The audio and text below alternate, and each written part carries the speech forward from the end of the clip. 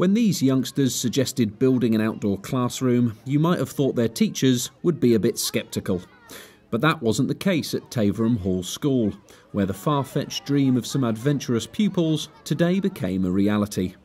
The £20,000 woodland classroom is made up of canvas panels, cob walls, a wooden frame, and even a living sedum roof.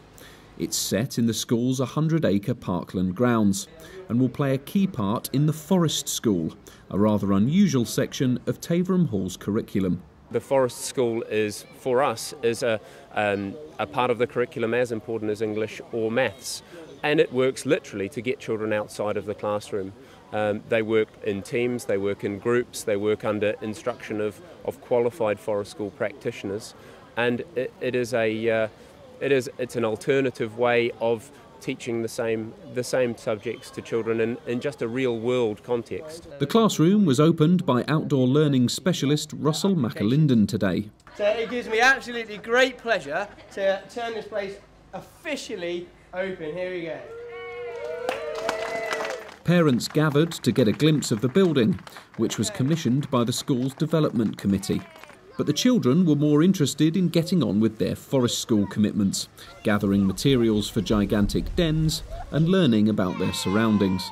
Sometimes we make dens and we make um, houses for bugs and sometimes we um, make things for the nursery.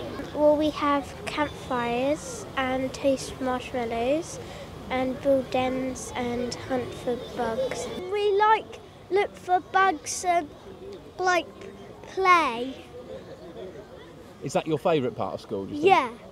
With geography, music, art, and drama lessons all set to take place in the Woodland Workshop, it's bound to be one of the school's busiest classrooms. Unfortunately, it's also likely to be the coldest.